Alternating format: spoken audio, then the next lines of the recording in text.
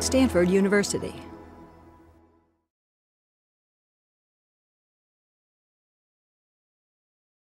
Yeah, welcome, welcome to this event, and that's a long title, right? Long, long title.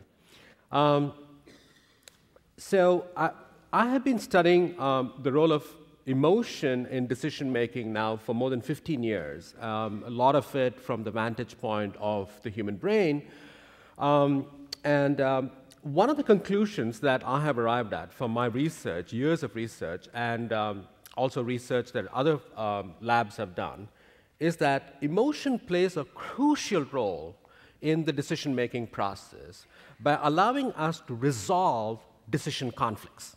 Right? So you're, you're meeting a fork in the road, and it is the emotional system that allows us to reliably take a particular course of action and emerge from the decision feeling confident about the decision. So this is emotion is what yields decisions with conviction. Now, a question that you might ask is why is emotion, why is decision confidence important? Right? In fact, if you look at the decision making literature and look at all the experts who talk about decision making, they would treat confidence and even overconfidence as being bad because this is what gives rise to the biases like the escalation of commitment bias, right? Where you're throwing good resources, good money after bad decisions. What I'm going to do in the next few minutes is talk about the virtues of decision confidence. And I would even say decision overconfidence. The virtues of emerging from a decision feeling confident about the decision and the virtues of invoking emotion into the decision making process. And to do that, let's first start uh, our discussion from the vantage point of the firm, right? So you have the, you have the firm and you have a client. Now, there it's pretty obvious that you want your client to be confident about the decision that he or she has made. It's pretty obvious, right? Because otherwise, you're going to end up with a client who becomes what we call a high maintenance client. we all experience that. And I used to be in sales before I came into academia. I mean, you'll have these, these customers, these clients out there. You make one pitch, you make a second pitch, and third pitch, and then they go, well, come next week. And then they'll say, well, I had to consult someone. And then they'll make their decision, and they'll still be griping. You're spending like 90% of your time with that one client. I'm sure you experienced that, right? Hopefully, it's not you, the client, but hopefully, hopefully, it's for their client. So, so here it's obvious that you want to have the client invoking emotion into the decision making process and emerging from the decision feeling confident and reap all the downstream benefits, right? I mean, you're going to have loyalty, you're going to have positive word of mouth, um, and so on. Now, let us look at it from your vantage point, you as a decision maker. Why is this important? With you as a decision maker, Number one, it is important because it is decision confidence that gives rise to the passion that is associated with the course of action that has been taken. So imagine that you are an entrepreneur pitching to an investor, or let me say the other way around, that you are the investor, uh, and there is an entrepreneur who is pitching to you. And let us say that the entrepreneur is not very confident about the course of action he or she has taken.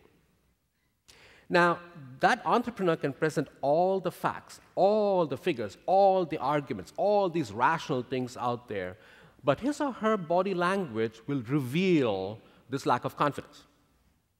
And your gut will tell you that, well, I can see all the merits of this investment opportunity, but you know what? I'm going to pass. Right? So if you think about it, this passion that emerges from decision confidence is extremely persuasive for the emotional brain. So that's one reason. The second reason is think about you as a leader and imagine that you are a commander in the military. And you're on a combat mission and you have to give an order to your troops. And imagine that you're not confident about the course of action that you're going to take. Right? that's going to have an effect on the confidence that your troops are going to have, and that's going to result in suboptimal performance and suboptimal outcome. So it's very clear that if you're that military commander, you've got to be very convinced that, that the decision that you're making out there is the right one. Okay? Now, let us look at yet another reason. These might come across as being obvious. The third one that I'll talk about will probably come, up, come about as being slightly less obvious. So, one thing that we have found in all our research is that what decision confidence does, now keep in mind that there is a decision process, right? I mean, you've gone through the decision making process, you emerge from the decision, then comes the actual experience. So, go back to your time uh, before you came to Stanford, you made a decision to come to Stanford. And then you had an experience out here.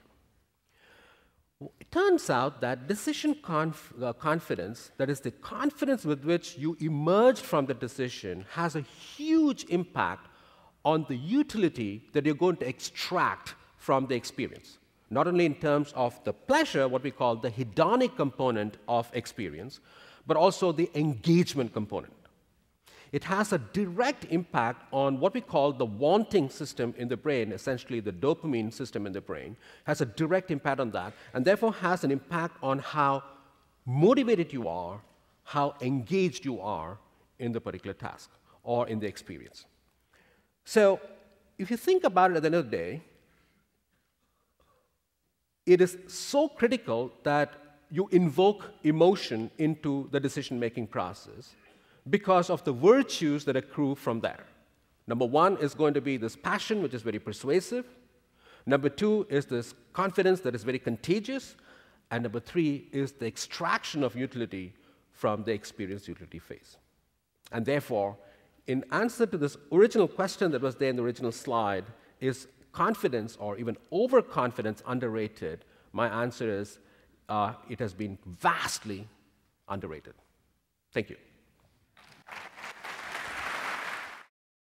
For more, please visit us at stanford.edu.